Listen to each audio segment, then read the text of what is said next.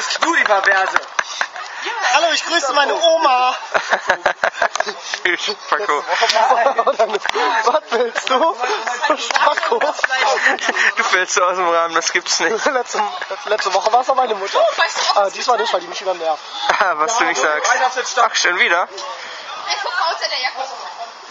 Da kommt unter der Jacke. Da ist